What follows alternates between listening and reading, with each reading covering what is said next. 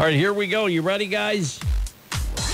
Brilliant speed with vibrant service. Vibrant broadband I always forget I don't have to turn that microphone on anymore. I've got to go like this. Woohoo! Ooh, two t- two days in a row I get to see I you. know. So exciting. Oh, I'm, you who? think you're excited, man? I've been thinking about it all since yesterday. Wow. Wow. Right. Living the dream. Jane living the back dream. here twice Oh, in a row. Jane. I don't know. I I don't know. I how I just get to see her every day at work. I mean, You lucky I know. dude, you. I count my Supposed to say thanks for the warning. That's Yeah. what you. That's that's his type of humor. Uh, Well, anyway, here we are again. and who are you again? So this is um, so we're the vibrant sales team, and once a week we put on the show to educate you guys on some information on internet or just life in general. So, Mm-hmm. welcome again. I'm Jane. I'm Nathan. I got him I'm turned up. there he Ooh, is. there he is. All right. So today's We're on the seven topic- second delay, obviously. Right. So today's topic, dun, dun, dun, Mm-hmm. it is troubleshooting. So Woody, have you had any troubleshooting questions with your wireless internet or Vibrant in general? It happened almost day one, but let's say week one. Okay. Week one, Yeah. Enlighten what us. happened? It wasn't working. There was some problem. Turned out that when they um, uh, when they went underground with it, they must have just snipped a little bit of uh, the wire and had a little bit of it exposed. Oh, Oh, okay. Yeah. fiber optic. It's glass, you know. Well, I guess so. That I, I found that out uh, right up at the box there. They said, "Well, that's that's the glass piece or whatever," but um, they were able to get a. I'm going to call it a sniffer. Yeah. Oh, it's right there. They dug Cool it up. technology, isn't it? They I, took care it. electrician came out of my house and had to do that too. It's amazing. So there we go. That's the only troubleshooting I ever had to do. Yep. So we're that reliable. You've never had an issue with Vibrant. And you want to know what? It was about 11 minutes from the time I called till they were there. Oh, awesome. Wow. Uh, That's so, good. There you go. All right. So Glad to hear it. I'm doing a little Cliff Clavin here for you. So it's a Known fact. So, what is troubleshooting, right? So, most of us probably know what it is, right? And it's just trying to figure out something and something to fix it. So, mm-hmm. an example would be like your sink is clogged or something like that. Mm-hmm. While the term troubleshooting, here's here's my Cliff Clavin moment. so, the term troubleshooting originated from the word troubleshooter, which was first used around guess what year? Oh, I'm guessing, let's see, they had to have a gun in their hands. It's going to be about 1742. Well, not that old. Oh, okay. 1898. Oh, yeah, there there you you go. go. All right. So, almost anyways, broke the 1900s. Almost. There you go. yeah. A troubleshooter who was someone who specialized in identifying and fixing problems, particular in telegraph or telephone lines. Yeah, I read that um, in the early days of the railroad and the telegraph, when they're building the construction and they're building the lines and all that stuff, yeah, they would hire these freelance people, gunmen, to shoot trouble that comes along. Yeah. There you so troubleshooting, troubleshooter, oh, How and now that? we still talk about it, but nobody's really pulling out guns to shoot trouble anymore. But Well, no, but then again, we don't have the dit, that, dit, dit, that, dash, Yeah. dash sort of communication true, either. true. So, anyway, our topic today is troubleshooting. So, Bo's going to kick us off with some speed test information. All right. Yeah, something we hear a lot about from people wondering about speeds. There you go. Yeah, this is a question probably I get at least once a day. It's like, you know, how do I run a speed test? How do I know what I have? Uh, you know, I know I have internet, but I haven't checked my bill in years. So we always recommend running a speed test. And so there's a couple different ways to do it. Usually the easiest way is to just go to Google, type in the word speed test, and then there's a couple different websites you can use. There's one that's like part of Google. It's blue. You can hit run, and that'll show you what you're getting for your download, your upload, your your latency.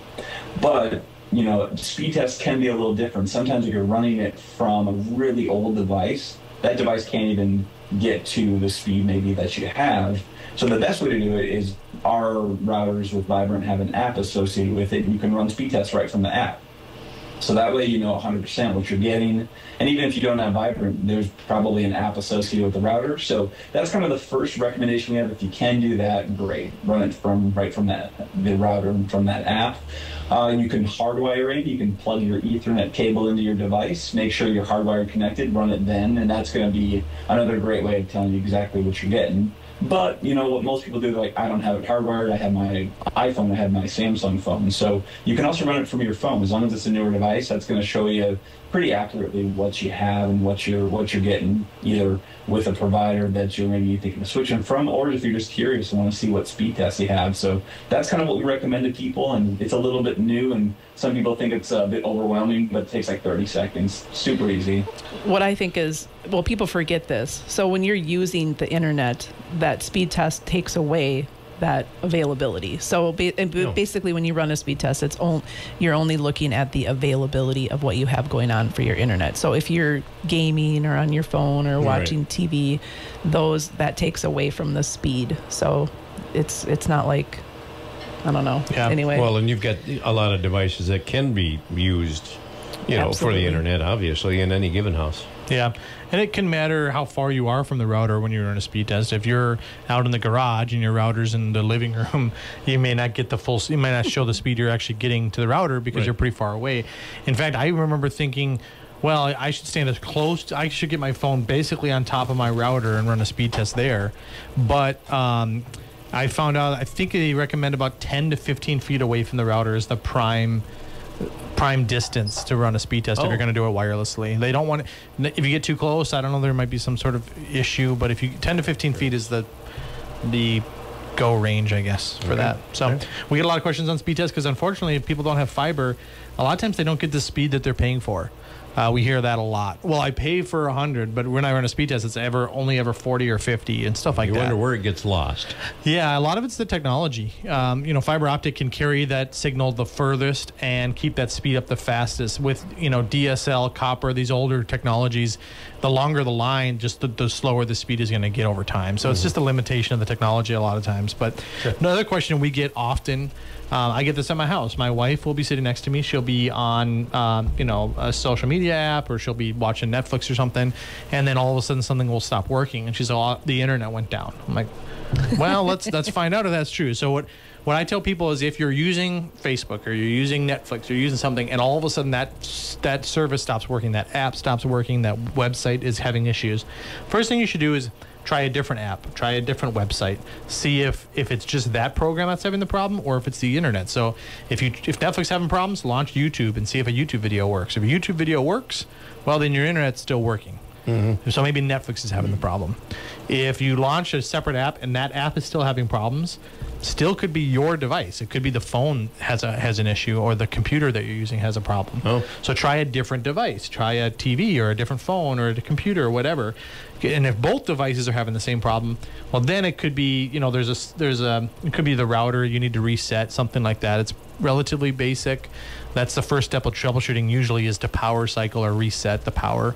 Sure. Um, so if you have a Wi-Fi router, uh, there's another piece of equipment that you might have, depending on the type of service you have, like a modem type device, or we call it an ONT if you have fiber. Usually, you just want to power cycle, you know, unplug them, leave them unplugged for 20, 30 seconds, plug them back in. A lot of times that fixes a lot of issues if it truly is a problem on the internet side of things.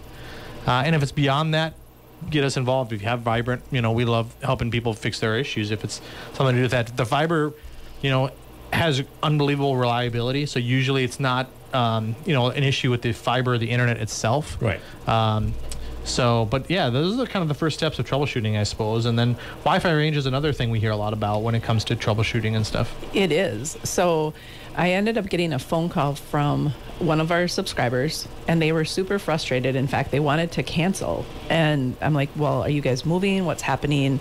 And they're like, "No, I just I just can't get internet into my bedroom." Well, so I ended up reaching out to our our troubleshooting, you know, our NOC department, and basically said, "Hey, can you look at this?" And they're like, "Yep, there's there's not enough. The wi- the range is the, where the router is located isn't further. You know, they need to have better internet in that location because the mm-hmm. router isn't set up to be successful in that room. So we ended up sending some somebody out right away and then we were able to relocate the router and then she was able to have wireless internet throughout her whole home. So that's you know that's router placement is an extremely important piece of getting quality internet too. And don't they uh, also have uh, uh, extenders? Yep, that's where I'm going next. so uh, Okie You're a mind reader. You're, I lead I know, these. I know. You know, you lead them to water. so so the range you know if, if you have a very large home or you have a home that has plaster or a tin roof different things like that you're going to need additional um, a, a router a wi-fi extender so basically what that is is it's kind of um, so if you have a b and c and your router's at a and you need to have service at c you're going to put another router at b so that way you're you're getting enough enough internet fr- to B, and then B is going to carry you to C. I hope that makes sense. Does that make sense? And only because it, that's what we had to do at our place. So I'm Yep. following it from up Yeah. there Yep. to down here to the little hockey puck out there at sea. Yep. And, So- and you know, the other thing is people really want to, if they have a, you know, man cave or anything like that, they want to have a internet out there too. So that's really important. So again, you'd put you'd put the router closer to that that outbuilding, and then you'd put in a Wi-Fi, you know, mesh system out there. Right. Or if you want to get fancy, you can put uh, Cat five. You know, put a duct in there and put Cat five to get from your mm-hmm. home to your uh, outbuilding, and mm-hmm. then you can get it's a direct connection, and that's really the way to go if you really want to have quality internet out at that shed. Mm-hmm. Yeah, I mean, it, it used to be that we needed internet in one or two places. Like a lot of times, it was in the living room. There was a, a desktop computer on a on a counter in the living room. That's kind of when we all started getting internet. Now you need the internet pretty much on your entire property. You know, you Yeah. people want it in their garage to listen to music or throw a TV in their garage. People want it in the bathroom because they're going to sit on their phone when they're in the bathroom. Yeah. Be- at you know, the lake, they want it out on the Yep. on the shore. And you Yep. want it in your yard if you're gonna throw a speaker out and, and you know play in the yard or I mow my lawn And and security. and yeah exactly Yes. security cameras is huge. Oh now. yeah, good. Good. Those are usually Bo. outside on the garage or, or doorbell. I mean, you We used got to one that uh, is down by the lake. exactly. So You know it used got to be stuff down there. Exactly, and getting getting Wi-Fi out there can be a problem. That's where the extenders and stuff come in and stuff like that. But we're just needing internet in so many more places than we used to. That's why people didn't need extenders, you know, 10, 15 years ago, and that's why they're more popular now because we we just need more internet in more places and more devices and all that stuff. So Yeah. And Bo, my son helped me uh, uh, with this uh, Cat Five. Uh, cable and I said I thought we were done with cable. He says this isn't cable. He says It this is just a what- cable." It is a cable. But Bo, you know what I'm talking about?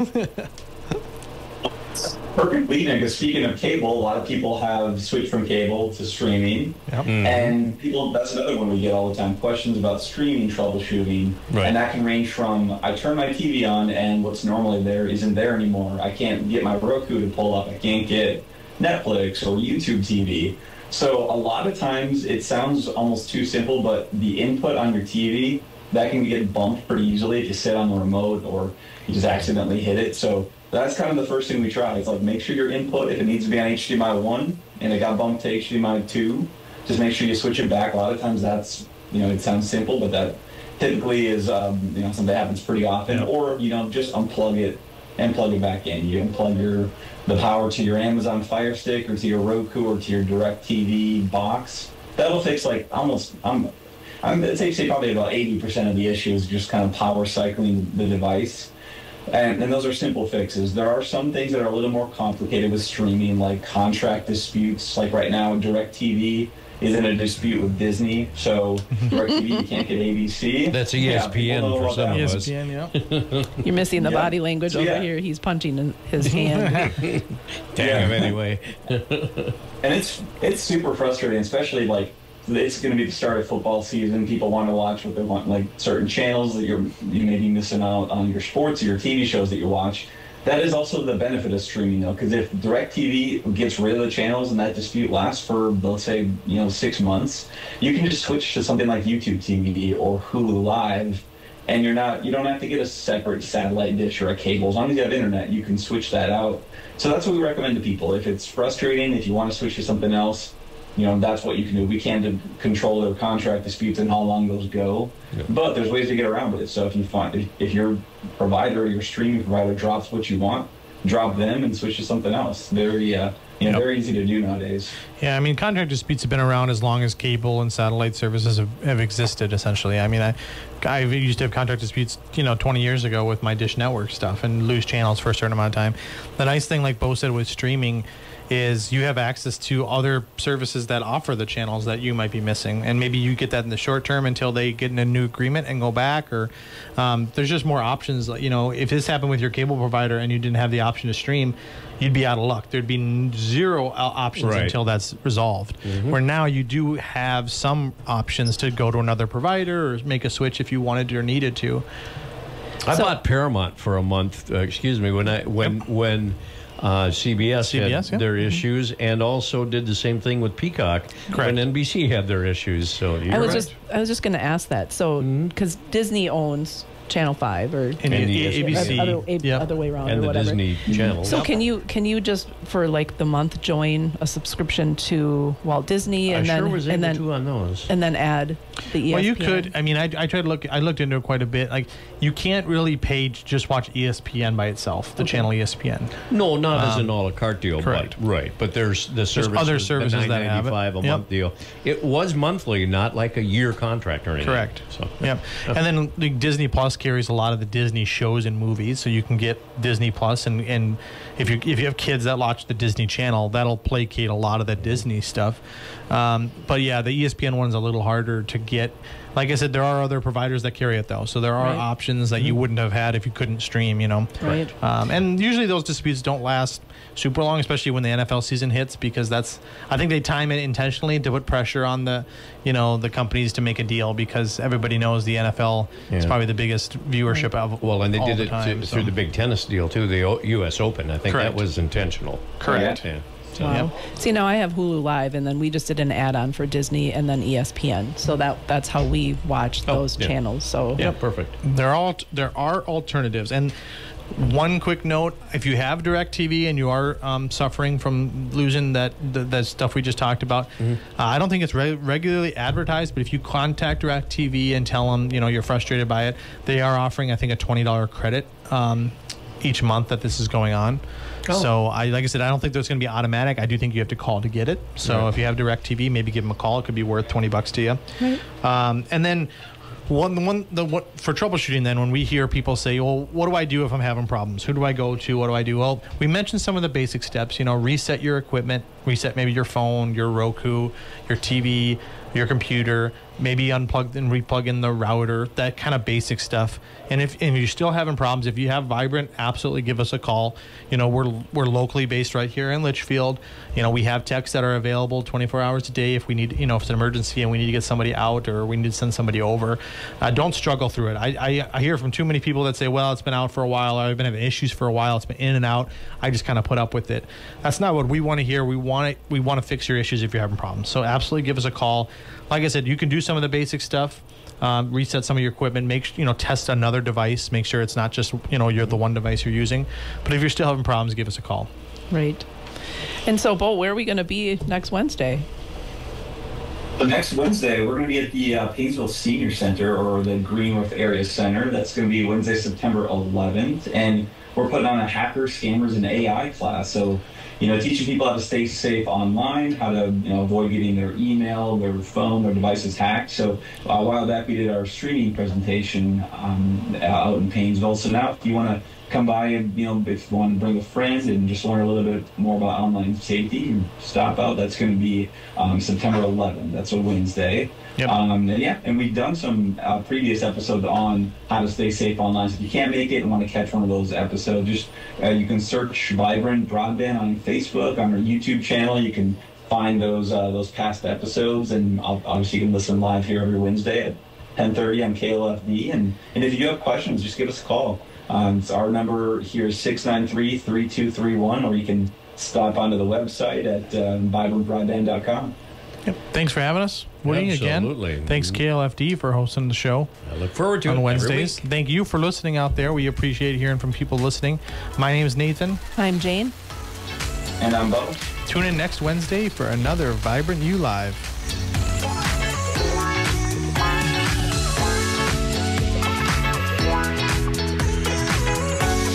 Speed with vibrant service. Vibrant broadband internet. Vibrant broadband internet.